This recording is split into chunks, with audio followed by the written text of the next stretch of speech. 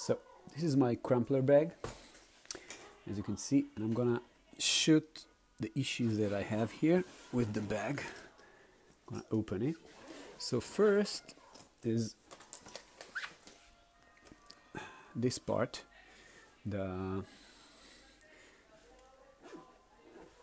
this part here, as you can see, it's like open. It's like wide open. It's lost all the stitches and it's need to be sawed. And the second part is here where you have this uh, piece that sticks together. You can see that this one lost the stitches as well. That's it. Other than that, the bag is in prime condition and works flawlessly.